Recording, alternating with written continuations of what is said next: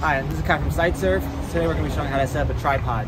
So there's a tripod, you can find these at uh, sitesurvusa.com or at uh, either our Dania or Miami locations, and this is the point we're going to be using.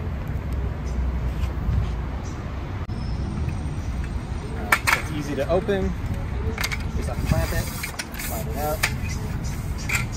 You want this to be at about eye level or a little lower, it's fine for most people. Today we're going to do it a little lower for me set this, and just look down, put it right over the point, and there you'll be set. Make sure that it's leveled off.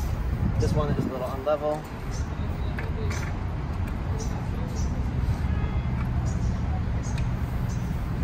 Readjust as needed. After you're done, it's easy. Close it back up. Easy to go. Quick, easy. You just clamp aluminum. All right, if you found this helpful, stay tuned. We're next going to show how to set up a total station on a tripod.